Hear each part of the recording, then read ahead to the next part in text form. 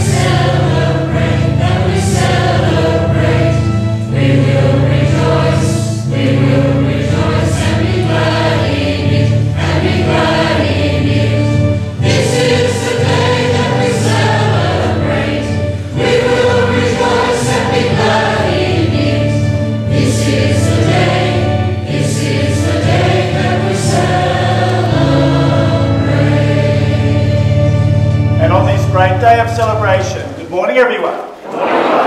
We bless ourselves in the name of the Father, and of the Son, and of the Holy Spirit. The Lord be with you. So we do come to celebrate in a particular way as we give thanks to God for the gifts that we as human beings have received by being part of the faith community that we call Our Lady of Fatima Parish which includes various aspects of parish living from the school and the different organisations that are part of our parish uh, community. We give thanks today especially for the, uh, the different uh, overseas uh, groups who make up our parish community as well. They bring their own richness and their own specialness to our experience of uh, Catholic life. And because it is a special celebration uh, today, we have one of the uh, former assistant priests here in the parish, Monsignor Michael Burgess, has uh, joined us here. I think he was the second.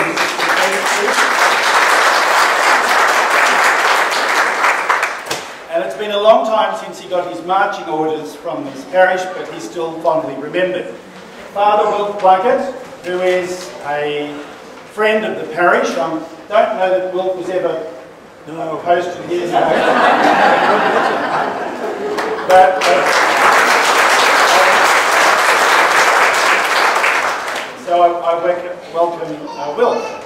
Uh, the welcoming uh, that we're celebrating or acknowledging here at the beginning of Mass uh, is a farewell for Father Pius, who has been looking after the parish in my absence uh, on leave. Uh, so for those of you that may not know, Father Pius uh, is there, and of course uh, Deacon Tony Aboshi is here uh, assisting at the table. This weekend, of course, provides an opportunity for past parishioners to come and be part of our celebrations today. And there are some foreign uh, faces, some new faces uh, here. So I'd just like you to turn and say hello to the person near you who's come to celebrate our parish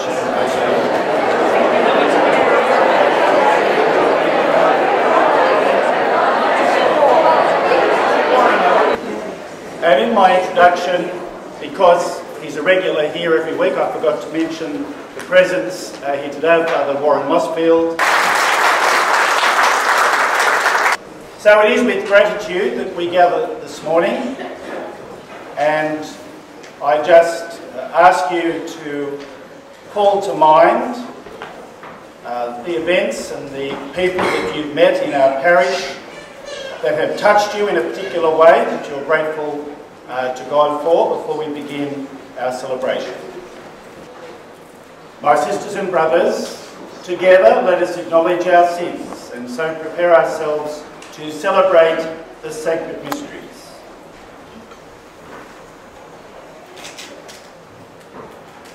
Lord Jesus, you have revealed yourself as the way to the Father. Lord, have mercy. You have poured out on your people the Spirit of truth.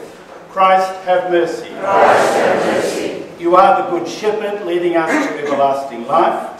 Lord, have mercy. And may Almighty God have mercy on us, forgive us our sins, and bring us to everlasting life.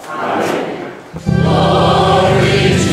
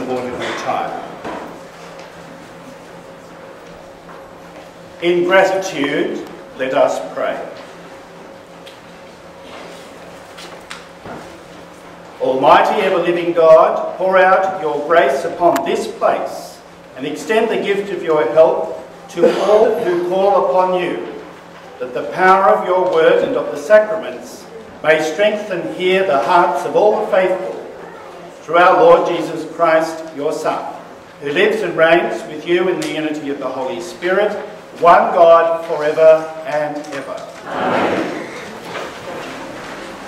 The first reading is reading from the book of Nehemiah. Ezra the priest brought the law before the assembly, consisting of men, women, and children old enough to understand it. This was the first day of the seventh month. On the square before the water gate, in the presence of the men and women, and the children old enough to understand, he read from the book from early morning till noon. All the people listened attentively to the book of the law. Ezra, the scribe, stood on a wooden dais erected for the purpose, in full view of all the people, since he stood higher than all the people. Ezra opened the book, and when he opened it, all the people stood up. Then Ezra blessed the Lord, the great God, and all the people raised their hands and answered, Amen, Amen. Then they bowed down and faced to the ground, prostrated themselves before the Lord. And Ezra read from the law of God, translating and giving the sense, so that all the people understood what was read. Then Nehemiah, His Excellency, and Ezra, priest and scribe, and the Levites who were instructing the people, said to all the people, This day is sacred to the Lord your God. Do not be mournful, do not weep. For the people were all in tears as they listened to the words of the Lord. Then he said, Go, eat the fat, drink the sweet wine, and send a portion to the man who has nothing prepared ready. For this day is sacred to our Lord. Do not be sad. The joy of the Lord is your stronghold. The word of the Lord.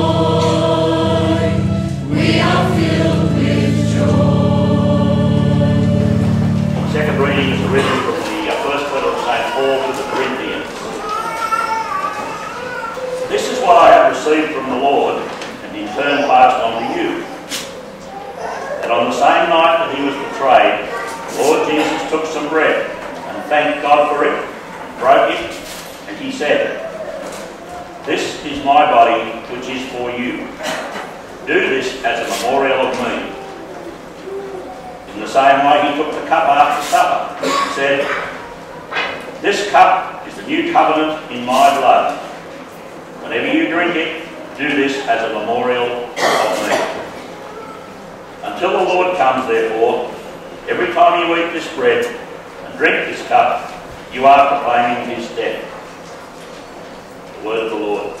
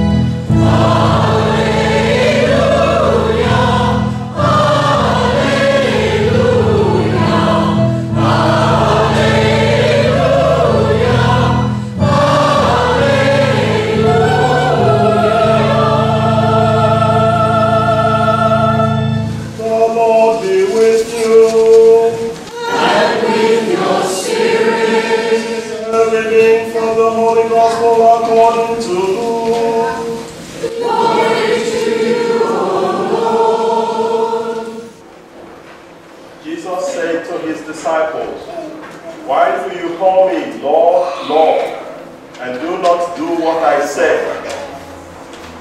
Everyone who comes to me and listens to my words and acts on them, I will show you what he is like.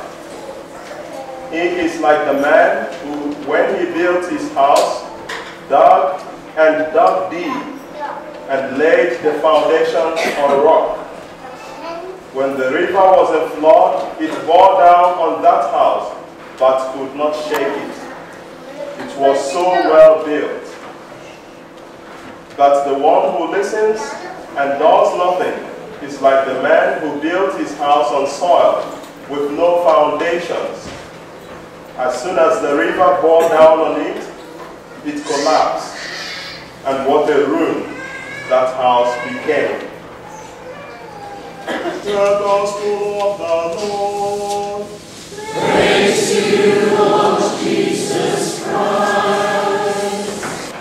Immediately after the Second World War, Bishop Francis Augustine Henschke was concerned for those Catholics who lived, as he described, south of the railway line here in Wagga. You don't hear people talking about us in Turvey Park, Mount Austin, Tolland as being south of the railway line anymore. He felt the need to set up a new parish. Up until 1955, St Michael's Cathedral was the only Catholic parish in Wagga Wagga. This parish, this one, became only the second Catholic parish in our city. The bishop sent Fathers Harry Josco and Peter O'Leary from the cathedral to prepare the people south the railway line to become a new parish. To everyone's surprise, and I would say especially Fathers Josco and O'Leary, the bishop appointed Father Brian Boru Gallagher as the first parish priest of Our Lady of Fatima, and Father John A. McGrath as his assistant. The presentation sisters had already put their shoulders to the mill by establishing the new St Maria Goretti School, which is the infants building of what we now know as Henschke Primary School. To paraphrase the title of a well-known book, the paddock south of the railway line was quickly becoming a parish. This weekend, the parish of Our Lady of Fatima is celebrating its 60 years of being the Catholic parish presence south of the railway line, and I would add on the western side of Willans Hill. This parish community has been formed by the wide array of clergy, and Tony, looking at you, aspiring clergy, who have served this parish. The influence of the presentation sisters, the Little Company of Mary, Christian brothers and lay teachers to our parish school and Calvary Hospital has been incredible. When people ask me what parish I am in here in Wagga Wagga, and I begin to describe Our Lady of Fatima, most people cut me off and exclaim, Oh, you're a Henschke, are you? I just take a little breath. For me, and of our parish lies in the men and women of God, the individuals and families who have called Our Lady of Fatima their spiritual home. When we talk about the church, we are talking of more than buildings. But buildings have been important to this parish.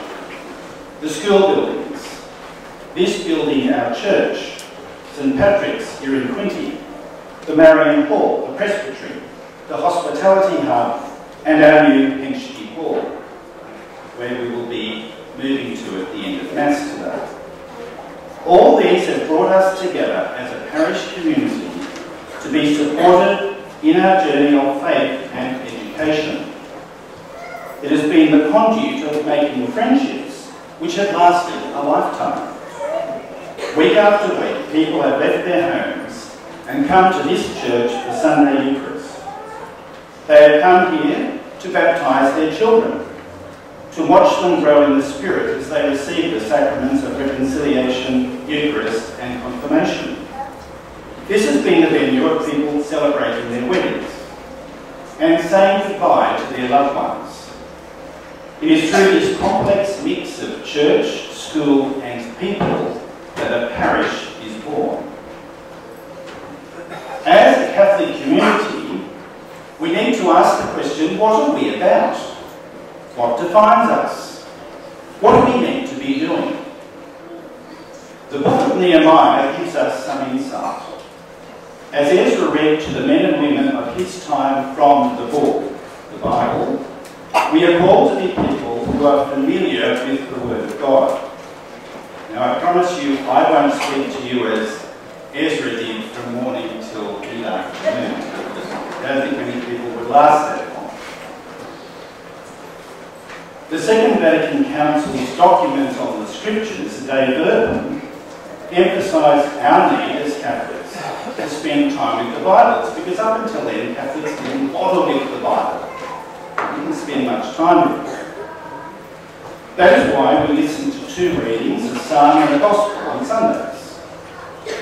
That is why we have Lenten and other prayer groups running through the There is so much out there for us now to enrich our understanding and experience of the Bible. And as we come to know our God, like the people in Nehemiah, we will come to know his love for us and begin to return that love to him and our brothers and sisters. The second reading that we listen to today is read every Holy Thursday evening at the Mass of the Last Supper. It reminds us that as a Catholic faith community, we are a Eucharistic community.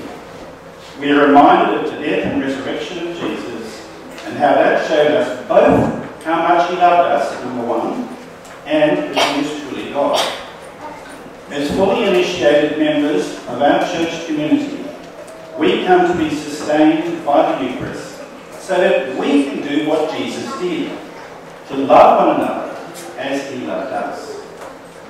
And in our parish, we show our love for our neighbours through the St Vincent Hall, the school food bank, the visitation of the Legion of Mary, our catechists, and every time we ask each other at Mass, how are you?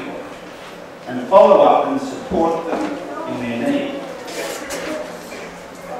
Gospel echoes the first reading which Jesus, with Jesus telling his disciples that a strong church is built on the Word of God, and that if it is built on the Word of God, it will be able to stand up to whatever comes its way.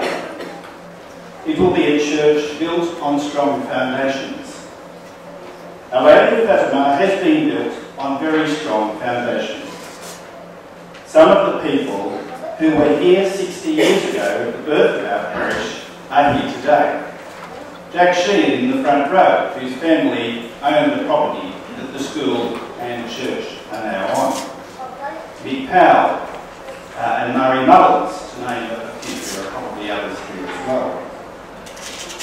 The parish today is very different from the one that came into being 60 years ago. But the foundations of faith laid down all those years ago continue to support our journey of faith in the third millennium. Some of you might be aware that the Synod on the Family has been taking place in Rome. It finished this week. The press has been highlighting the tensions in the church between the opposing political camps. In 2015, we as a society, and I hope as a church, understand that families come in different shapes and sizes. All those shapes and sizes are to be respected. To quote Pope Francis, who are we to judge? The Our Lady of Fatima Faith Community, parish and school have been supporting families since the very beginning. Psalm reminds us that the Lord has indeed done great things for us as a parish. We have every reason to be filled with joy this weekend as we celebrate our 60th anniversary.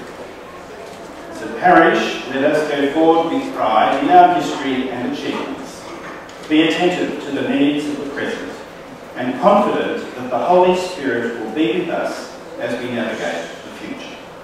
I believe in God.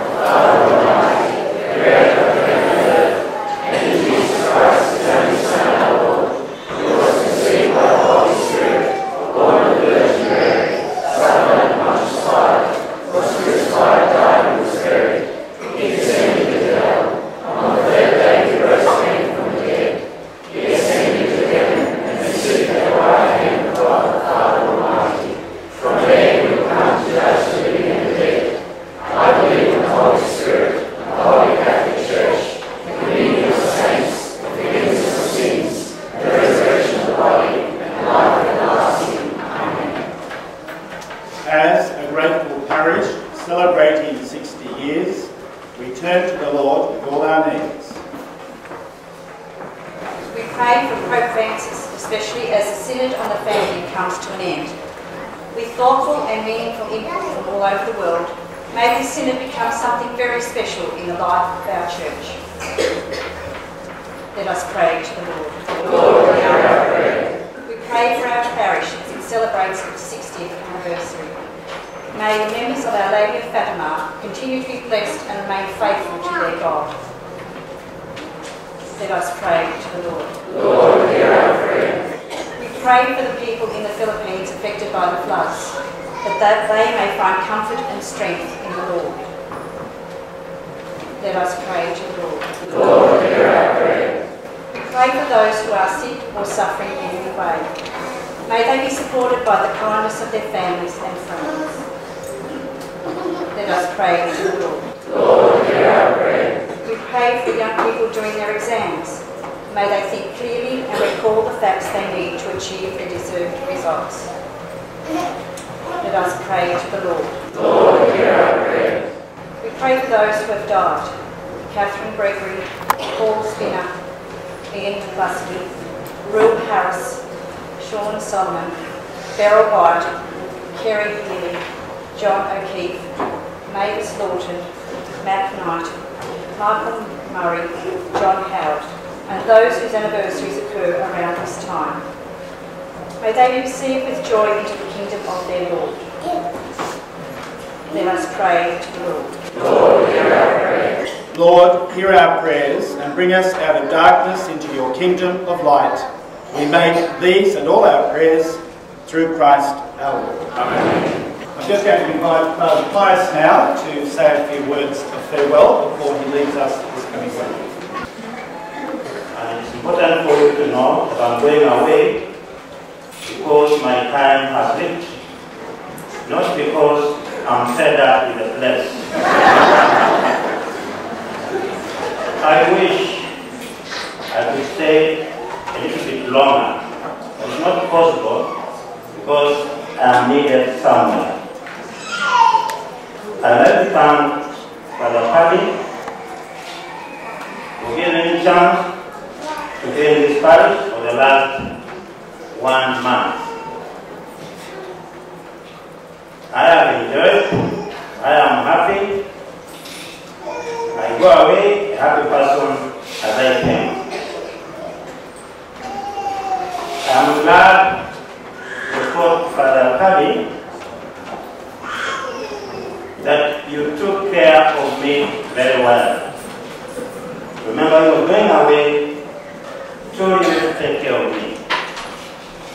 Many of you have always asked me if I have any problem. There are those who took me out for dinner. There are those who took me out to see the kangaroos. Kangaroos are important because I've never, I've never seen them. There are also those who took me far places, like I've never been to Tambaranga. Tambaranga. but at least I was there because I was they can thereby somewhere. As I go away, I will not forget you. I will not forget the parish of Our Lady of Fatima. I've learned a lot from you, learned a little from me. So wherever in Kenya, I'll be praying for you, and you have a special place in my heart. Thank you very much.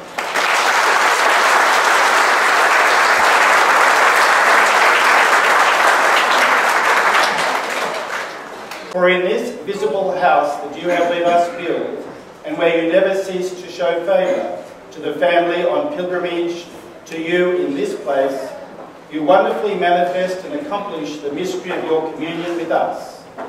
Here you build up for yourself the temple that we are, and cause your church, spread throughout the world, to grow ever more and more as the Lord's own body, till she reaches her fullness in the vision of peace, the heavenly city of Jerusalem. And so, with the countless ranks of the blessed, in the temple of your glory, we praise you, we bless you, and proclaim your greatness as we acclaim.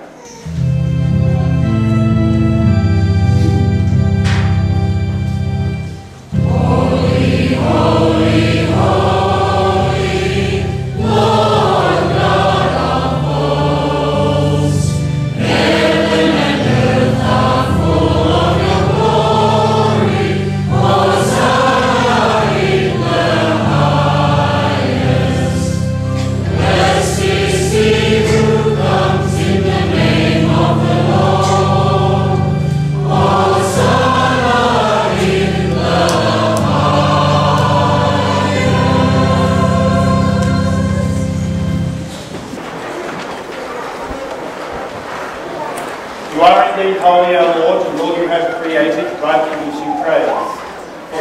Son, our Lord Jesus Christ, by the power and working of the Holy Spirit, you give life to all things and make them whole.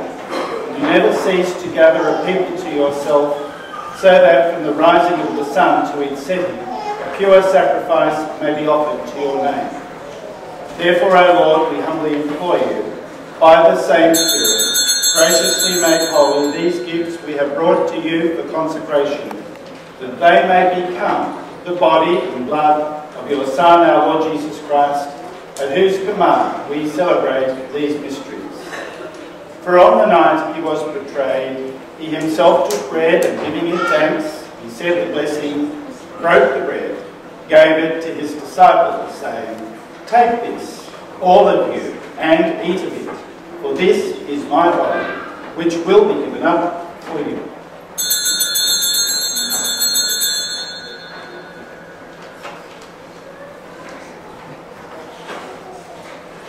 Similar way, when supper was ended, he took the chalice and giving you thanks, he said the blessing and gave the chalice to his disciples, saying, Take this, all of you, and drink from it, for this is the chalice of my blood, the blood of the new and eternal covenant, which will be poured out for you and for many for the forgiveness of sins. Do this in memory of me.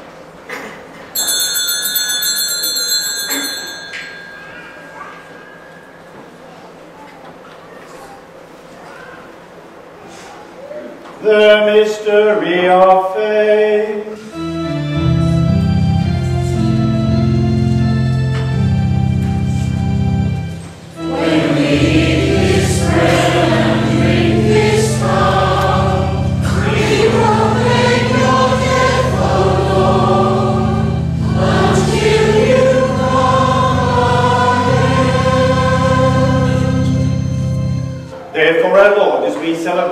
Memorial of the saving passion of your Son, his wondrous resurrection and ascension into heaven, and as we look forward to his second coming, we offer you in thanksgiving this holy and living sacrifice. Look, we pray, upon the oblation of your church, and recognizing the sacrificial victim, by whose death you will to reconcile us to yourself.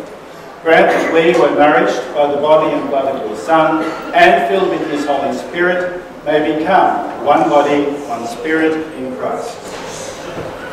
May he make of us an eternal offering to you, so that we may obtain an inheritance with your elect, especially with the most blessed Virgin Mary, Mother of God, with your blessed apostles and glorious martyrs, and with all the saints, on whose constant intercession in your presence we rely for un- with for unfailing help. May this sacrifice of our reconciliation, we pray, our Lord, advance the peace and salvation of all the world. Be pleased to confirm in faith and charity your pilgrim church on earth, with your servant, Francis our Pope, Gerard our Bishop, the order of bishops, all the clergy, and the entire people that have gained for your own. Listen graciously to the prayers of this family whom we have summoned before you. Your compassionate and merciful Father, gather to yourself all your children scattered throughout the world. To our departed brothers and sisters, and to all who are pleasing to you, as they are passing from this life, give them, give kind admittance to your kingdom. There we hope to enjoy forever the fullness of your glory. Through Christ our Lord, through whom you bestow on the world all that is good. Through him and him and in him, O God Almighty Father, in the unity of the Holy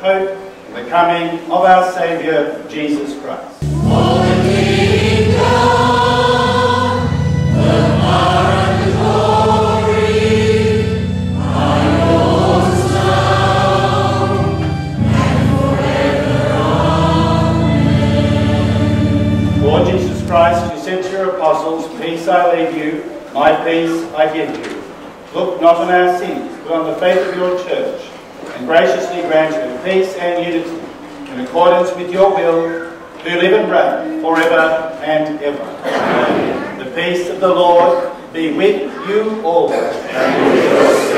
Let us offer each other the sign of peace.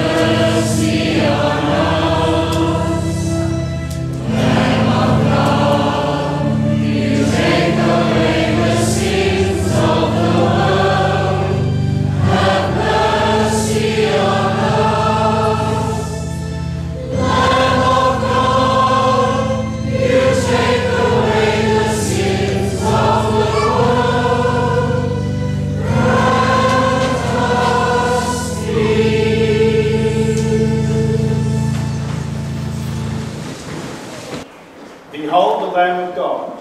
Behold him who takes away the sins of the world. Blessed are those called to the supper of the Lamb. we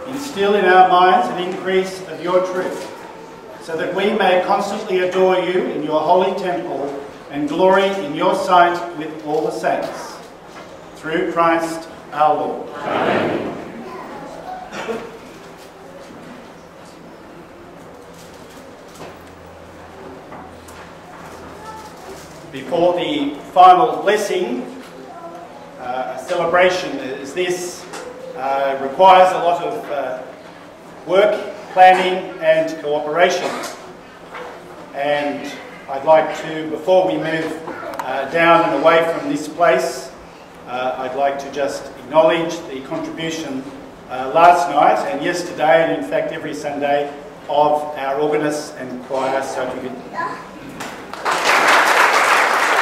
So when I went on leave a few weeks ago, I said, please look after Father Pius, and you did. So thank you very much. And thank you very much, Father Pius, for looking after the parish uh, in my absence. We're going to conclude with a solemn blessing uh, given the day, and then the uh, cross bearer will lead me from this church as we sing the final hymn, and I'm going to process out of the church uh, with the clergy behind me, and I invite everybody just to follow. We're going to open the windows over there. The tune is a familiar one. You're going to hear the, uh, the sound of the music, and we pr process from this place of celebration to the Henchley Hall behind us uh, here. So just don't feel uh, shy about uh, following out and heading down to the parish hall and join us for the celebrations there. The Lord be with you. And with your spirit. Bow down for the blessing. What's the point of having a deacon? May the Lord bless you and keep you. Amen. May he let his face shine upon you and show you his mercy. Amen. May he turn his countenance towards you and give you peace. Amen. And may Almighty God bless you all, today and always, the Father, and the Son, and the Holy Spirit. Amen. Go forth, the Mass is ended. Thanks be to God.